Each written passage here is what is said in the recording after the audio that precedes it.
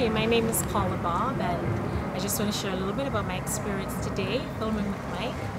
Um, first of all, today was a beautiful day, and um, he took me to uh, the park where it was very, very beautiful. We actually saw a rabbit there sticking out its ears, watching the whole thing. That was kind of funny. Um, I, what I liked mostly about the shoot was I find it was very natural, and uh, I'm a natural girl, as you can see. A little bit of makeup, you know, just to you know give it a pop.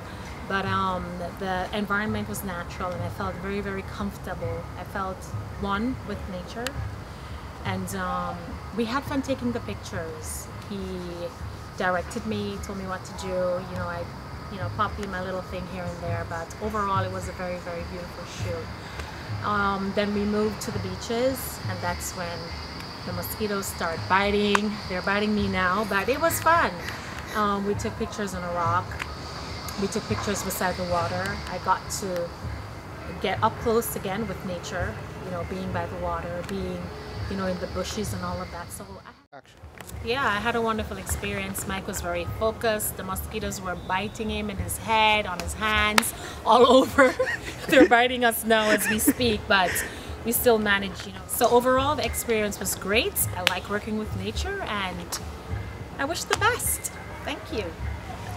Yeah, so those of you who want to try this experience with Mike Odongkara, give him a call. Check out his website. He does a fabulous job and he's very, very easy to work with. Thank you, Mike.